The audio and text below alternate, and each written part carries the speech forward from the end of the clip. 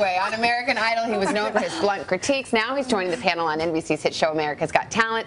Natalie sat down with Simon to talk about his big return to TV and whether being a dad has turned him into a big softie. No, no, it doesn't. The reality is there's not a single person on planet Earth who would ever pay to hear you sing. He's not always nice. You just killed every cat in Denver. But Simon Cowell is usually right.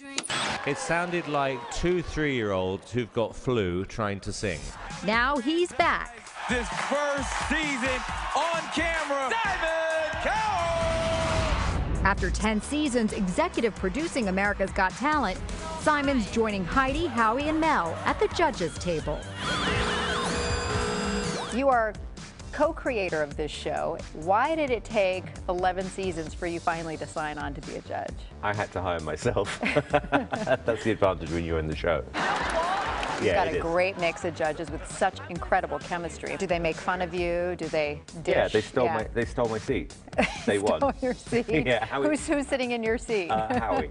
Howie's got your seat. So, um, that, that the front seat, That's right the at main the head seat. of the table. Yeah, so I'm sort of like in fourth place at the moment. I can't believe we didn't get any buzzes. Never too late. Switching seats, though, hasn't changed his signature style. Are you still the same tough judge, though? Still, you know, a little bit of that harsh critic?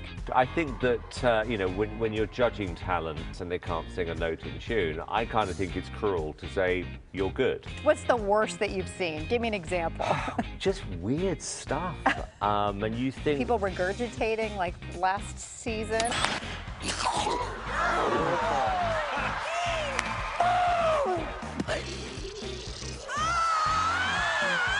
that's kind of what always happens when I do auditions. I attract the crazies.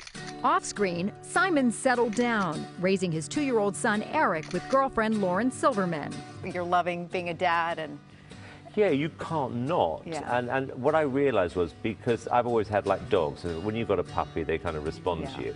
When you have a baby, for the first six months, I literally hadn't got a clue what to do. And I said to Lauren one day, I think he hates me. Because I'm like, like, there's no response. And then one day, bang, all clicked. And like, he, we were communicating, and then they become like part of you. does yeah. he spend some time on set? He does. In fact, I think he's going to be taking over the company. I was gonna say you're grooming him already. Oh, At God. just two years old. Two years old, I want him to get used to it. He sits in my chair, gets, gets used to judging. He's gonna start wearing the little V-necks pretty soon. He started that already. He really And the sunglasses. Oh my. No, he's adorable. Backstage, Simon gave me a sneak peek at Is some it of his pre show rituals, like canned air. We're in LA. The air's not great. If I want to wake myself up, Canned oxygen.